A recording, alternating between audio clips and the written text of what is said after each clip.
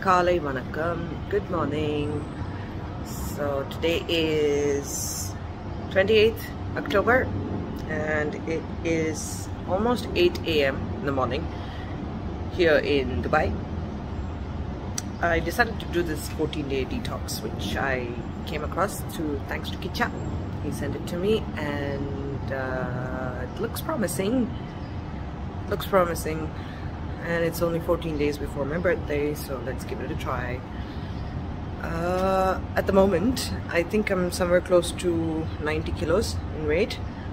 And I have PCOD I don't have a good sleep pattern. I used till today I, I have been eating whenever drinking whatever.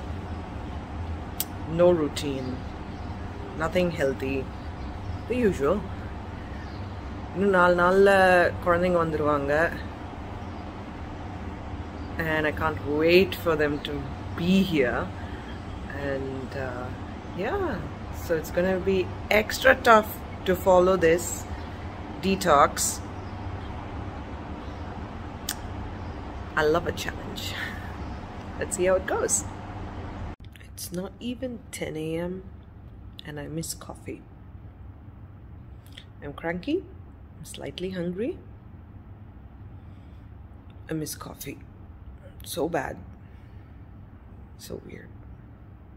Some strange reason, my skin started to break down.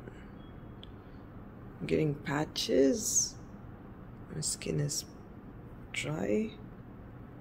Having oil ooze out. Mm cleansing is happening. It's 12:11. I don't think I've looked forward to eating food as much as I have been ever right now. Mm. Yeah, so uh, let's dig in.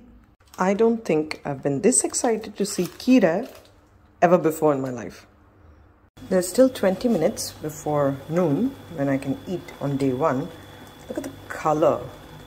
This is just spinach, three olive cloves, salt, and water. Isn't it just beautiful?